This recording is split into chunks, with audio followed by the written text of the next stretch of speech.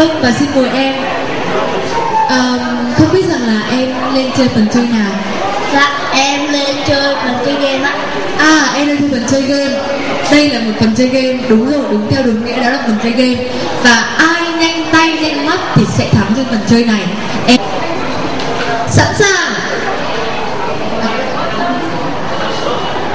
Bảy sáu năm bốn ba hai một hết rồi vâng và sao em đã hiểu rõ hơn vâng và à, Quỳnh Nga nghĩ rằng với một em nhỏ thì mọi người có thể cho mình chơi thêm một lần nữa được không ạ? Mọi người có đồng ý không ạ?